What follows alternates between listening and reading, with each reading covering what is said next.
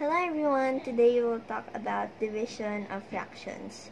It may look hard but I learned about the KCF method which makes it more easy. You may probably think, what does KCF mean?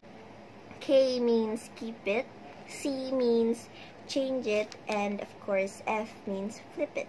Come on, let's try it. For example, 3 over 5 divided by 2 over 3. Using the KCF method, First step is keep 3 over 5. And then change the division sign to multiplication sign. Last step is flip it. Find the reciprocal of 2, 3 which is 3, 2.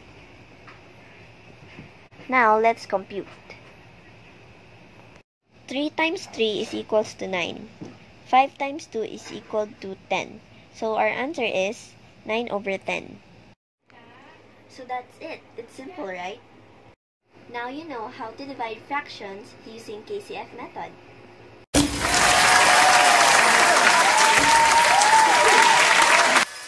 That's the end of my vlog. Thank you for watching. Bye!